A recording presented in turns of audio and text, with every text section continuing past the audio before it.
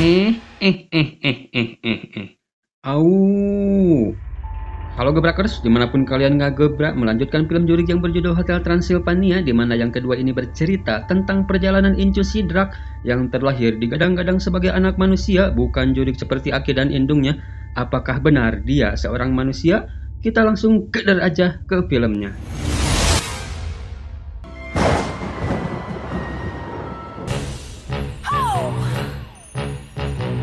Seperti yang kita tahu di film sebelumnya di mana Sidrak yang sudah terbuka hatinya untuk para manusia dan akan melangsungkan pernikahan anaknya dengan manusia juga.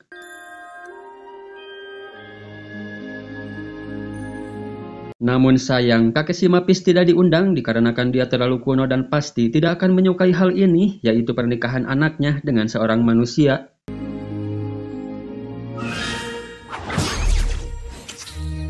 Singkat cerita setahun sudah berlalu si John dan si Mapis seperti ada udang di balik batu namun entah apa itu tapi si Mapis mengajak ayahnya untuk hibar bersama dikarenakan sudah lama tidak melakukan ini.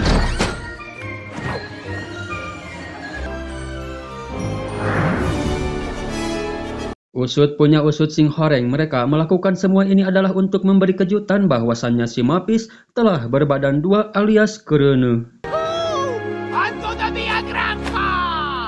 Beberapa bulan kemudian tiba di saat si Mapis karasa beteng dan terlahirlah seorang anak laki-laki yang seperti terlihat anak manusia, bukan jurig.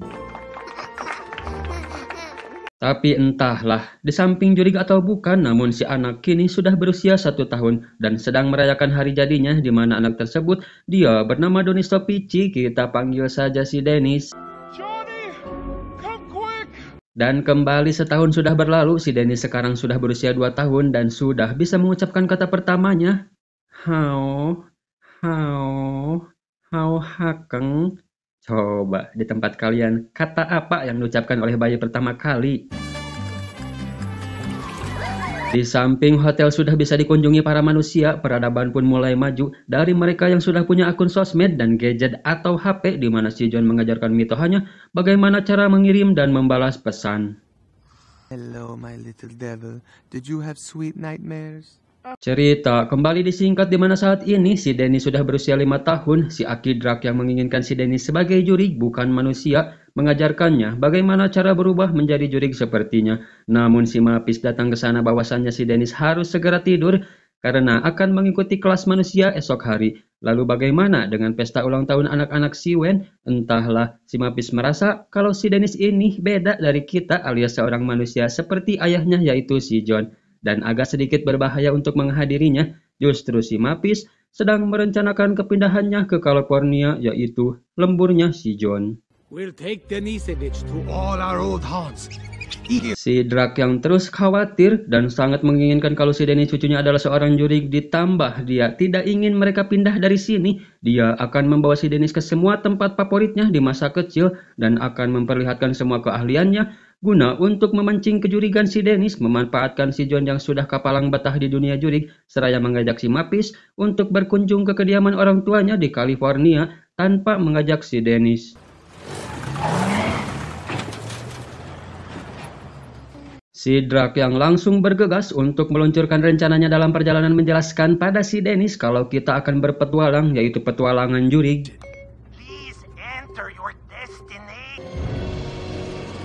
Mereka pun akhirnya sampai di tujuan yaitu perkemahan jurig, tempat Sidrak dikala masih bocil dapat memunculkan bakat jurignya di mana seorang yang merupakan pengajar sekaligus pemilik sekaligus panitia datang menghampiri menyambut mereka. Sidrak sendiri bermaksud mau mendaftarkan si Dennis di sini.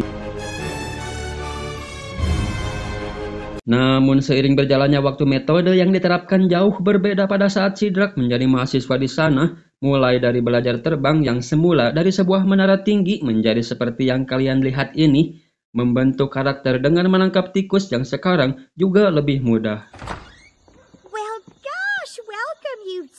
Sementara di perkemahan sedang diadakan api unggun, si Drak yang sangat bete dengan metode latihan yang sekarang membuatnya nekat membawa si Dennis ke atas menara yang sudah reyot. Guna akan mengajarkannya cara untuk terbang. Here we go! Paradu si Drak, main alungkeun wae. Dan si Dennis sepertinya memang seorang manusia, dia tidak bereaksi atau menunjukkan tanda-tanda kejurigannya, dan hal itu sempat diabadikan dan diupload ke sosmed. Dan si Drak sendiri dianggap telah melanggar kode etik jurig akan melaporkannya ke KPJ, Komisi Perlindungan Jurig, karena sangat-sangat membahayakan. Ya, menara yang sudah reyot tadi ambruk membuat si prank terbakar dan panik lari ke itu dia, mengakibatkan semua rumah dan perkemahan di sana terbakar. Namun si Drak justru malah menyalahkan si panitia kalau menaranya sangat tidak aman dan kau beruntung karena kami tidak akan melaporkannya pada pihak yang berwajib. Lempar tangan sembunyi kokot teh iya tah guys. Yes! Sementara di California, si Mapis yang merasakan kamelang terhadap anaknya mempice si Drak untuk mengetahui keadaannya di mana si Mapis mendapatkan beberapa kejanggalan dan memutuskan untuk segera terbang kembali ke Transilvania. Namun penerbangan ke sana sedang dipending dikarenakan cuaca buruk dan si Mapis terbang dengan kejurigannya. Begitu juga dengan si Drak yang takut ketahuan. Mereka semua segera pulang ke Transilvania naik odong-odong dikarenakan mobilnya yang telah hancur. Ya, si Mapis dan si John ternyata tiba lebih awal dan langsung masuk ke dalam untuk melihat keadaan di sana, sementara si Drak yang baru tiba dengan pedeknya mempice si Mapis seraya akan memberitahu kalau si Dennis aman-aman saja yang padahal si Mapis sudah berada di sana tepat depan bebengoknya. Already!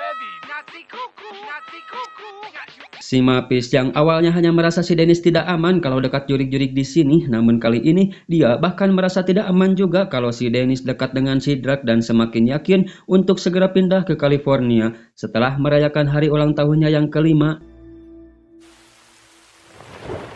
Ultah yang sekarang diadakan merupakan pesta besar karena sekaligus perpisahan dihadiri oleh seluruh anggota keluarga dari kedua belah pihak, yaitu keluarga si John dan si Mapis, di mana sebelumnya si Mapis sempat mengundang ayah si Drak yang tidak pernah diulam sebelumnya tanpa sepengetahuan si Drak sendiri. Hingga ketika si Drak mengetahuinya dan dia mengingatkan si John kalau dirinya beserta keluarganya jangan sampai ketahuan identitas aslinya yaitu seorang manusia oleh ayahnya si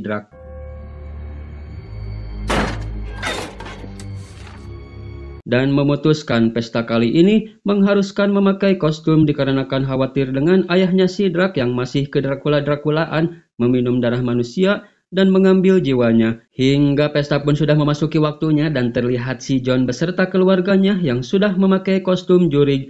Namun... Where's my vamp son? Ya, ini dia ayahnya si Drak, dia bernama Pled. Si Prank mengalihkannya dari interaksi dengan keluarga si John dan si John selaku ayah si Dennis yang akan menjamunya. Namun si Dennis malah datang ke sana hingga diketahui kalau itu cicitnya. Sempat dicegat si Drak namun itu tidak berhasil dan si Pled tetap mau melihat taringgannya si Dennis. Oh, he's a late fanger. Just like you. Karena si Dennis dirasa terlambat menumbuhkan taringnya, maka dari itu si Pled akan membantunya melakukan apa yang sebelumnya dilakukan ketika akan memunculkan taring si Drak yang dikala itu juga telah tumbuh di mana akan diadakan pertunjukan yang merupakan penampilan dari monster favoritnya dan di situlah si Pled beraksi dengan kekuatan jurignya memanipulasi bahwasannya dengan cara membuat sesuatu yang dia sukai terlihat jahat atau menakutkan maka itu akan lebih mempercepat proses penumbuhan taringnya. Namun hal itu tidak ada efek yang terjadi pada si Denny selain dia sangat ketakutan dan si Drak menghentikan itu hingga si Mapis datang ke sana bahwasannya ini merupakan usaha terakhirnya untuk memunculkan taring si Denny. Semua ini ia lakukan karena tidak mau kalian pergi. Johnny, Dennis is not a monster. Ya, akhirnya si Plad pun tahu dan dia menyalahkan si Drak kalau saja tadi dia tidak menghentikannya. Pasti cicit si Plad alias si Dennis sekarang sudah menjadi jurig tidak seperti ayahnya yaitu si John. Now he's normal. He is who he. Dennis, where are you going? Mereka membongkar identitasnya dengan menghapus make up jurignya. Si Drak menjelaskan kalau ini sudah ada di abad ke-21 di mana jurig dan manusia tidak lagi saling membenci. Where is Dennis? Dennis! Dennis? Sementara itu si Dennis sedang bersama si Winnie di suatu saung dedongkapan sama ajudannya si Pled bertujuan mau menyandranya dan akan menghancurkan hotel karena baginya manusia dan jurig tidak akan pernah bisa bersatu. Dan ternyata taring si Dennis ini bisa muncul ketika emosi yang kuat terhadap orang tersayang atau terdekatnya tersakiti. Namun si ajudan ini memanggil semua saudaranya dengan cara mengirimkan sebuah sinyal berupa aungan dan si Dennis akhirnya bisa mengeluarkan kemampuan jurignya dengan mudah menghajar si ajudan hingga ompong. Dan kedatangan para sahabat si ajudan pun kini bisa si Dennis deteksi dengan taringannya namun mereka semua bisa dikalahkan dengan mudah berkat kerjasama epik para jurig.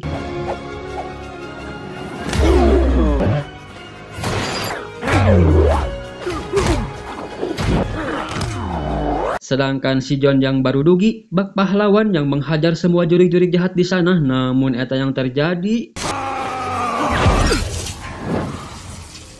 Si Pled akhirnya tersadar dari kegelapannya beserta si Dennis yang juga sudah betah di hotel tidak akan jadi pindah ke California dan mereka semua melanjutkan pesta ulang tahunnya. We felt the world go up.